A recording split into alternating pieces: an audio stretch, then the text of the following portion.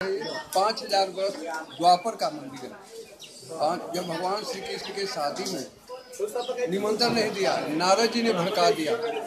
नारद जी ने भड़का दिया, जब पूरे बारात गई, भगवान श्री कृष्ण की शादी होने तो रास्ते में हाथी घोड़े सब पोले कर दिया कि उन्होंने ज़मीन में गड़ गए हाहाकार मच गया। फिर पूरे देवता लोग मनाने के लिए भगवान गलती हो गई। ब्रह्मा, विष्णु, महेश सब आ गए। गलती हो गई महाराज, अब तक क्षमा करो। तो गुस्से में पहाड़ फाड़ के निकल गए। पूरे परिवार सहित गणेश जी, रिद्धि सीधी पत्नी लाभ बच्चे और चूहा भी साथ में आए सवाल हाहाकार मच गया। जब फिर रिद्धि सीधी के साथ, पहले गणेश जी की शादी उसके बाद भगवान श्री कृष्ण की शादी हुई जब से निमंत्रण चालू है।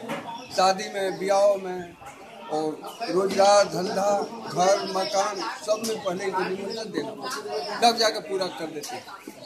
जी सर। मैंने भी पाँच पत्थर रखा था रास्ते में, जो मेरा भी मकान बन गया